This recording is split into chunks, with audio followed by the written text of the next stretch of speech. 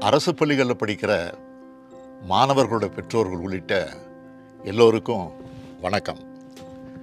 என்னோட அழைப்பை ஏற்று கடந்த ரெண்டு ஆண்டுகளில் ஆறு லட்சத்துக்கும் அதிகமான பெற்றோர்கள் பள்ளி மேலாண்மை குழுக்களில் உறுப்பினர்களாக இணைஞ்சு பல்வேறு பிரச்சனைகளுக்கு தீர்வு கண்டுள்ளதற்கு என்னோட மனமார்ந்த நன்றி.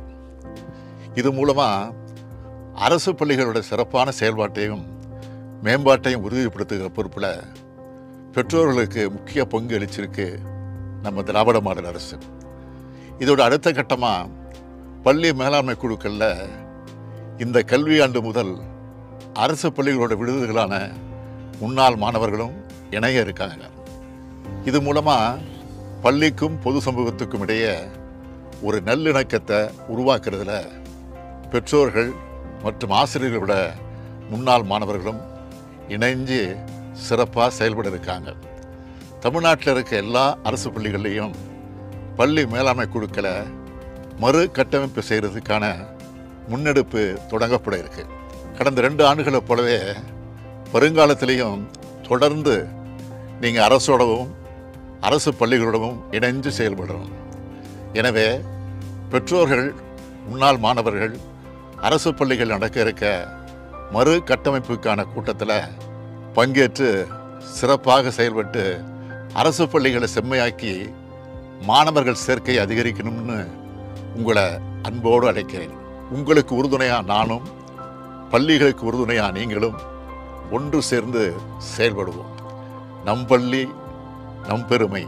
பெற்றோர்கள் அனைவரும் நமது குழந்தைகள் படிக்கும் பள்ளிகளுக்கு செல்வோம். ஆகஸ்ட் இரண்டு அன்று நடக்கவிருக்கும் பள்ளி மேலாண்மை குழு அறிமுக கூட்டத்தில் பங்கேற்போம். குழந்தைகளின் கனவுகளை நிறைவேற்றுவோம். நாள் ஆகஸ்ட் இரண்டு வெள்ளிக்கிழமை.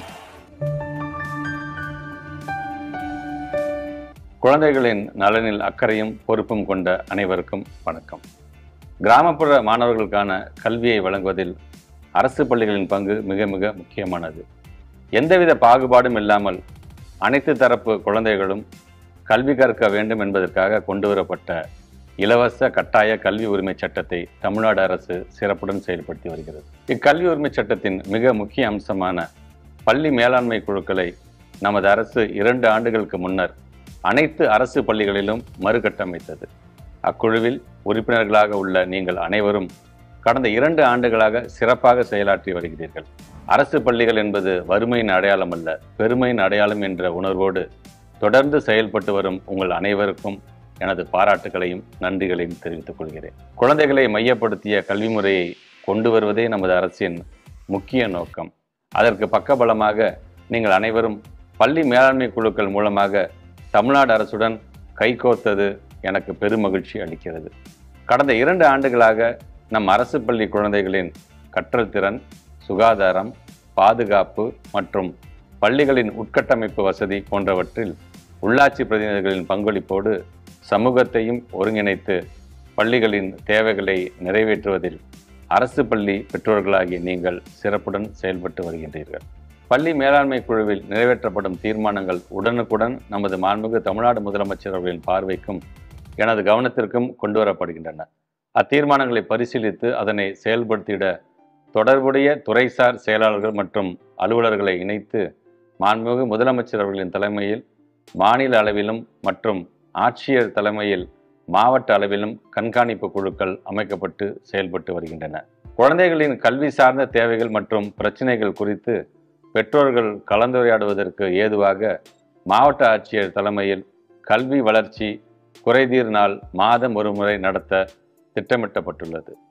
இக்கூட்டத்தில் பள்ளி மேலாண்மை குழு உறுப்பினர்கள் பெற்றோர்கள் தலைமை ஆசிரியர்கள் ஆசிரியர்கள் முன்னாள் மாணவர்கள் மற்றும் உள்ளாட்சி பிரதிநிதிகள் என அனைவரும் கலந்து கொள்ளலாம். கட்டாய கல்வி உரிமை சட்டத்தின்படி பள்ளி மேலாண்மை குழுக்கள் இரண்டு ஆண்டுகளுக்கு ஒருமுறை மறுகட்டமைப்பு செய்யப்பட வேண்டும். இவ்வாண்டு ஜூலை மாதம் முதல் மறுகட்டமைப்பு நிகழ்வுகள் தொடங்கப்பட உள்ளன. சமூக நீதியை நிலைநாட்டும் வண்ணம் தமிழ்நாடு அரசு பள்ளி கல்வித்துறை முன்னெடுத்துள்ள பள்ளி மேலாண்மை குழுக்களின் மறு கட்டமைப்பிற்கான மாபெரும் நிகழ்வில் பெற்றோர்கள் ஆசிரியர்கள் முன்னாள் மாணவர்கள் மற்றும் கல்வி சார்ந்து செயல்படும் அனைவரும் பெருந்திரளாக பங்கேற்க அன்புடன் அழைக்கிறேன். பள்ளி மேலாண்மை குழுக்களை வலுப்படுத்துவோம். பள்ளிகளை வளப்படுத்துவோம். நம் பள்ளி நம் பெருமை. நன்றி. பள்ளிக்கூடம்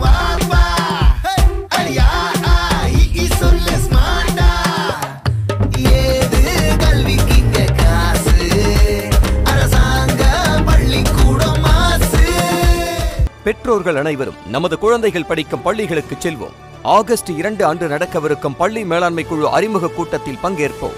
குழந்தைகளின் கனவுகளை நிறைவேற்றுவோம். நாள் ஆகஸ்ட் இரண்டு வெள்ளிக்கிழமை